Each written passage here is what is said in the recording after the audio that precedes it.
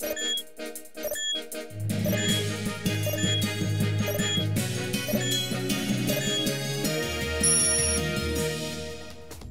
La secretaria de Estado de Estados Unidos, Hillary Clinton, promovió los esfuerzos de su país en la lucha contra el VIH durante la 19 Conferencia Internacional del SIDA realizada en Washington. De acuerdo con Clinton, Estados Unidos aumentó la atención de 600.000 personas más desde septiembre y espera llegar a 6 millones antes del próximo año.